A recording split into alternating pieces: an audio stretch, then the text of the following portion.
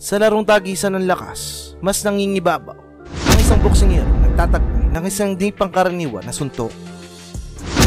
Isang suntok na kayang magpataob at magpatulog sa kalaban o tinatawag na heavy puncher at isang knockout artist. Anyway mga idol, ang pag-uusapan natin ngayon ay ang natatanging boksingero na kagawa ng 132 knockout sa kanyang buong boxing career. Ang minsan nang gumulat sa mundo ng boxing dahil sa natatanging lakas sa mga kamao na mayroon ito. Ito'y walang iba, kundi si Achimur, the old mongoose, ang may pinakamaraming knockout sa kasaysayan ng boxing.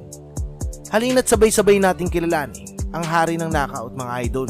Let's go!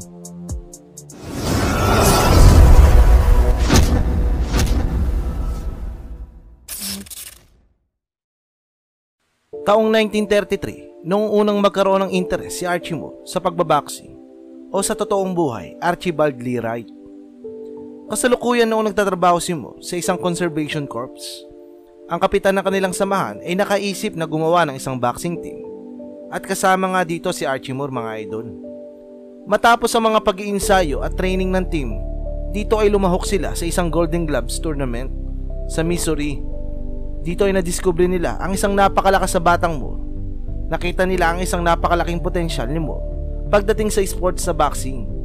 Matapos nga nitong masungkitang titulo sa paligsahan. Fast forward na tayo mga idol. Taong 1930s nga mga idol ay naging most avoiding fighter nga ito si Archie Moore mula sa middleweight at light heavyweight division. Matapos nga itong makapagbigay ng isang ekspresibong performance dahil sa natatanging lakas ng mga kamao nito.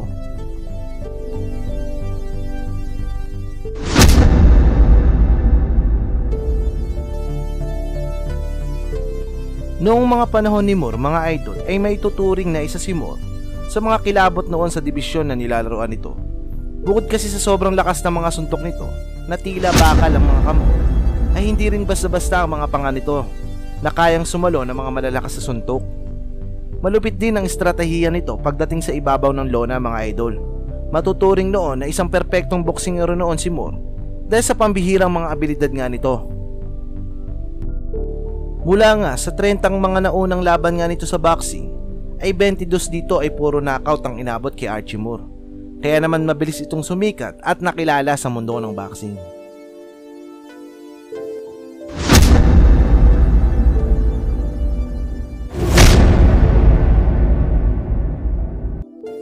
Taong 1952 nga mga idol ay mas nag-init pa nga ang karir nito matapos nitong matalo ang mga malalakas sa contender noon na sina Johnson, Jimmy Slade, Bob Dunlap, Clarence Henry at Clinton Bacon. Kaya naman nabigyan si Archie mo ng isang title shots laban kay Joey Maxim, isang future international boxer Hall of Fame, upang paglabanan ang World Light Heavyweight title. Hindi basta-basta si Joey Maxim mga idol sapagkat ninalo lang naman ito ang legendary at mabilis na boksingero si Sugar Ray. Matapos itong manakaut si Sugar Ray sa ika-14 na rounds.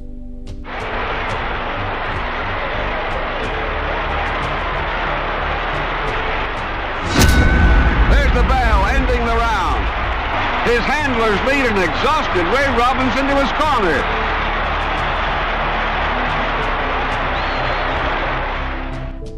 Ito na, ang pinakamatagal na laban na hinihintay ni Archie Moore. Kaya naman puspusang pinaghandaan niya ang laban kontra kay Maxim. Sapagkat alam din ni Moore na hindi basta-basta ang kanyang makakaharap. Kaya naman sa mismong laban mga idol ay makikita mo talaga na kondisyon talaga si Moore. Ngunit sadyang malakas din talaga si Maxim kaya naman umabot ang laban sa 15 rounds at hindi niya ito na knockout. Pero nanalo naman dito si Archie Moore by unanimous decision mga idol. Matapos ang ekspresibong pagkapanalo na iyon ay 10 beses pang dinepensahan ni Archie Moore ang kanyang titulo at ni isa nga sa mga ito ay hindi nagtagumpay na makuha ang title mula sa Knockout Kings noon na si Archie Moore. Taong September 21, 1955 nang makaharap naman ni Moore si Rocky Marciano, isang future Hall of Fame din ng mga panahon na iyan at matuturing na isa sa mga pinakamabigat na laban ni Archie Moore sapagkat alam naman nating lahat na isang legendary at malakas talagang boksingero itong si Rocky Marciano. Sa mismong laban mga idol, Sa round 2 pa lamang ay nabigyan na agad ng isang solid na kanang suntok ni Moore, si Marciano, na dahilan upang ito'y ma-knockdown. Landed a good left hook, which must have hurt him. Good right of his own. I want you to notice here in slow motion. After landing a good left hook, I followed with another good right hand punch, which put me off balance. Then Archie hit me a pip coming in and had me on the floor. Ngunit agaran din naman itong nakatayo at nakabawi ng lakas matapos nga mabilangan ng referee. Ngunit hindi yun naging sapat upang talunin ni Moore si Rocky Marciano sapagkat sa mga sumunod na rounds ay talaga namang nahirapan si Moore mula kay Marciano na magana rin ang kanang mata ni Moore mula sa mga suntok ni Marciano at nang sumapit nga ang round 7 dito ay knockdown ang inabot ni Moore.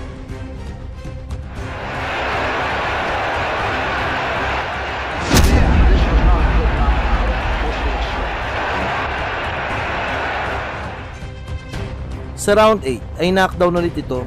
Talo na sana ito ngunit na-save pa ito ng bed. Kaya naman nakapagpatuloy pa ito hanggang round 9. Ngunit sa round 9 na hindi na talaga kinaya ni Moore, hinang-hina na to at pagod na rin. Kaya ang resulta, knockout ang inabot niya kay Rocky Marciano. In slow motion, I want you to notice the good right hand that comes over his left hook. There's the hook, and there's the right hand that right over, hitting him in a vital spot. Talent warrior that he is, but great fighter went down. Boy, am I glad this fight was over. Sa likod ng pagkatalo na iyon kay Rocky Marciano, hindi naman iyon ang naging dahilan upang ito'y sumuko sa pagboboxing. Patuloy pa rin itong naglaro at patuloy pang nagpataba ng kartada mula sa mga nakatikim pa nga ng mga malalakas sa kamao nito na naging dahilan upang humalik sa lona ang mga kalaban nito. Taong 1962 nang makaharap naman nito ang the greatest Muhammad Ali na may pangalan pa noon na Cassius Clay na estudyante ni Moore na mga panahon na iyan. Ngunit umalis nga si Ali sa poder ni Moore sapagkat nais nga daw ni Moore na baguhin ang fighting style niya na di nagustuhan ni Muhammad Ali. At ang pag-uutos nga din kay Ali na magugas ang pinggan at maglinis ng gym floor ng mga panahon na iyan. Bago pa man ang laban mga idol ay sinabi na nga ni Ali na babaksak nga daw sa mga kamao niya si Moore sa ika-apat na rounds. Na agad naman sinagot ni Moore na mag-iingat si Ali sapagkat meron siyang bagong teknik na pinaghandaan sa magiging laban nila ni Ali or Clay na mga panahon na iyan. Sa mismong laban mga idol ay tila na predict nga ni Ali ang magiging laban nila ng dating niyang trainer sapagkat na-knockout nga ito ni Ali sa ika-apat na rounds na ikinagulat na nakakarami matapos nga itong magkatotoo.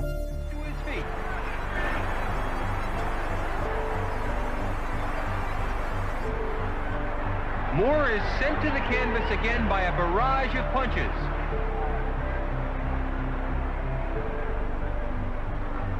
For the second time, Archie gets to his feet to face the inevitable. Ripping punches by Cassius Clay, and it's all over. Clay wins by a fourth round knockout, as predicted. It looks like this exciting 20-year-old is... Tanging si Moore ang nakaharap o nakalaban sa dalawang legendary boxer na si Rocky Marciano at Muhammad Ali. At ang pinakamatagal na naging light heavyweight champion sa kasaysayan at kaisa-isang nakagawa ng pinakamaraming knockout sa kasaysayan ng boxing na 132 KO na hanggang sa ngayon ay wala pa rin nakaka-break sa record na ito mga idol. Grabe mga idol, matapos ko nga ma-research itong si Archie Moore at dito ay masasabi ko talaga na grabe ang mga boksingero noon. Kaya di na nakakapagtaka kung bakit maraming boksingero noon ang namamatay. Buti na lang at nag-improve na ang boxing ngayon. Mas safe na kumpara noon. Anyway, salamat sa pakikinig ngayong araw. Hanggang dito na lang muna tayo mga idol. Salamat po.